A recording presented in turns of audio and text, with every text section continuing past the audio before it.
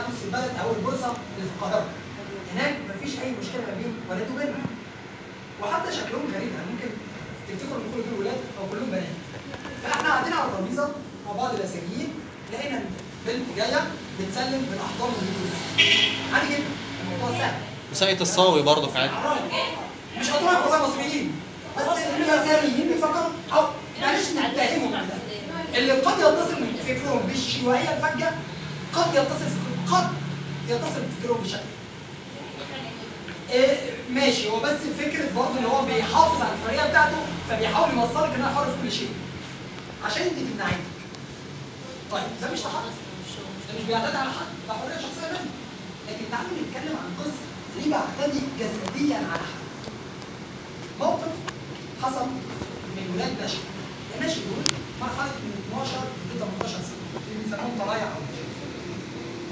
الموقف ده حصل في الغردقه مجموعة شباب أو مجموعة طلايع من 12 ل 18 سنة يعني ولاد صغيرين جايين يحضروا كورس تدريب. كنا إحنا لاعبين التدريب في الغردقه الولاد دول من البحر الاحمر الولاد بتوع الغردقه بلد الغردقه يعني سياح ويعرفوا السياح كلهم وعارفين طباعهم ولبس السياح فيتربوا في وسط الأجانب. إنه يطلع في بنت مصرية. ده العجيب. انه يبدأ يضايق ويختلط مشكلة ويوصلوا إن هم يعوروا بعض مع شباب بورسعيد عشان بنات. بورسعيد ده العجيب جدا.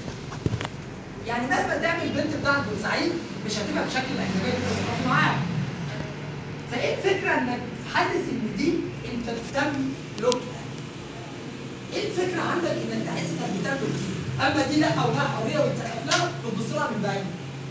ليه؟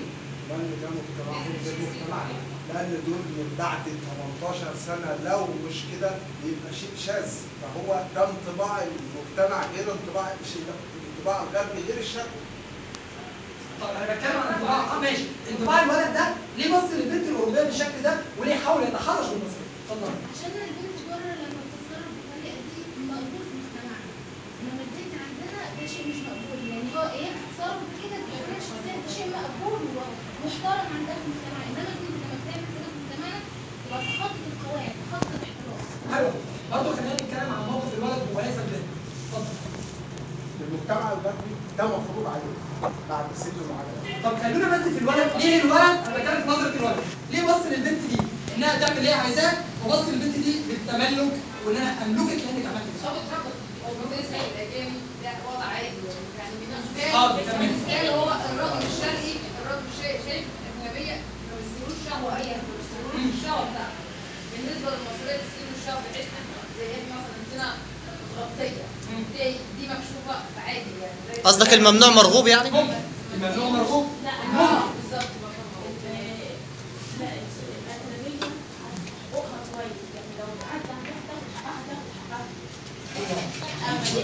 يعني ممكن الكلام ده تسجله بقى فيديو. محتاج يتسجل يبقى واحد الممنوع مرغوب لأن المرأة المصرية مش بتتعرى بالشكل اللي أنت عايزه. وأنا زيك وبتكلم زيك. اتنين إن المرأة الأجنبية رد فعلها هيكون قاسي على الولد وهيلاقي حد يردها كقانون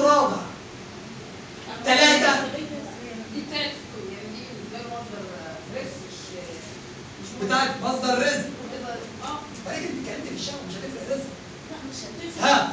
إزاي ما يقدرش يقطع رزقه يعني هو شغال أصلاً، يعني هو لو عدى عليك ماشي بس هو مش في هم اللي- وقتها في وقتها هو مش بيفكر طيب. الحاجة الثالثة تكون إيه يا اسد؟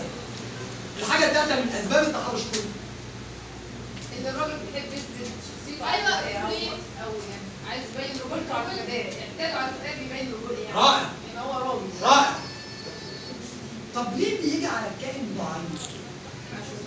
عشان عشان مش هياخد حقوقه حتى لو وليه التحرش امتد لأن بعورها؟ عارفه ها نفس. لأن البنت ضعيفة أصلا. ها. اضطراب عقلي. اضطراب عقلي. ممكن. ناس ثابته جدا وعقليه عقدة نقص. إحنا بنتكلم على أسباب التحرش دلوقتي صح؟ مم- ممكن يكون من اسبابها إن هو يعني يتعرض للاعتداء في الصغر مثلا. دي دي من الأسباب ال- ال- المعترف بيها. ماشي. طيب. بص يا أستاذ تعالوا نقول الطبيعي وبعدين نتكلم في الصح والراجل بيسجل وأنا بشهد على كلامي ده بشهد على كلامي الطبيعي إن أي حد هيطلع في أي برنامج تلفزيوني هيقوله وأي حد من حضراتكم لو قلت لكم هتطلعوا تحلوا أي مشكلة مجتمعية. إيه الطبيعي؟ إن في مراحل تنشئه اجتماعيه بنمر بيها. خمس مراحل. اولا الأسرة.